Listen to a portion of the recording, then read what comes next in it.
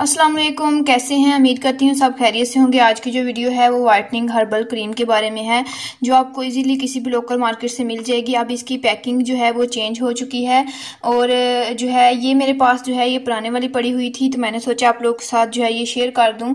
तो इसकी जो पैकिंग है वो कुछ नए तरीके से चेंज हुई है इनशाला वो भी आप लोग के साथ काफ़ी जल्दी शेयर करूँगी। अभी आप देख सकते हैं ये हर्बल जो है वाइटनिंग क्रीम है, इसका कोई भी साइड इफ़ेक्ट नहीं है।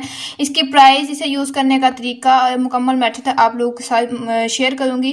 तो वीडियो को मुकम्मल देखना है, अगर पसंद आती है तो एक लाइक ज़रूर करना है, नीचे कमेंट्स में अपनी राय ज़रूर देनी है। तो सबसे पहले आप देख सकते हैं कि जो भी हर्बल चीज़ होती है, उसका कोई भी नुकसान नहीं होता। इस क्रीम को जो है, आप अपने हाथों पाँव पर भी यूज़ कर सकते हैं, क्योंकि ये हर्बल है, इसे छोड़ने का कोई भी नुकसान नहीं होगा।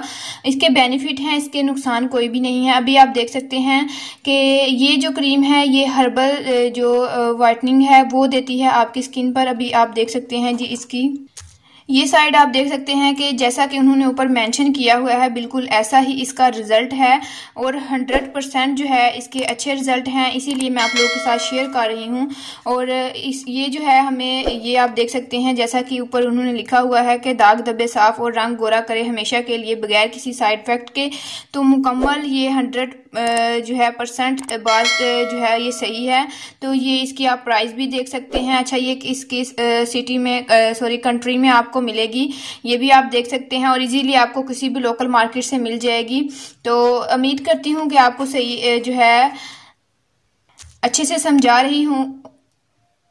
अच्छा इसकी मैं एक मेन बात आपको ये बताऊँ कि ये जो आ, क्रीम है आप कोई सी भी वाइटनिंग क्रीम यूज़ करते हैं आपको उसे नाइट में यूज़ करना है।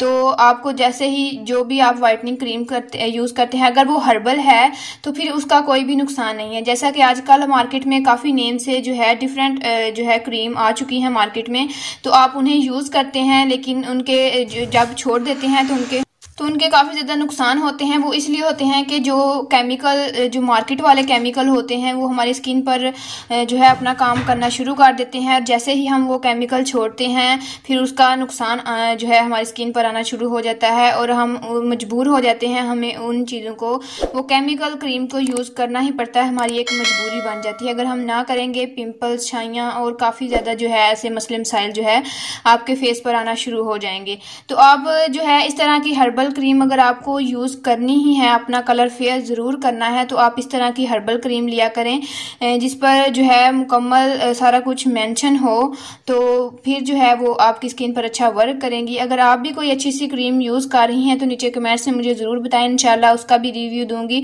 और अपने व्यूवर्स को बताऊँगी। सो उम्मीद करती हूँ कि आज की वीडियो आपको अच्छी लगी होगी। अगर अच्छी लगी है तो मेरे चैनल को सब्सक्राइब करें और साथ वाली बेल को प्रेस करें। अगर आप बेल प्रेस नहीं करेंगे तो आप तक मेरी वीडियो जो है वो नहीं पहुँच पाएगी। तो मिलते हैं नेक्स्ट वीडियो में। अल्लाह हाफिज़।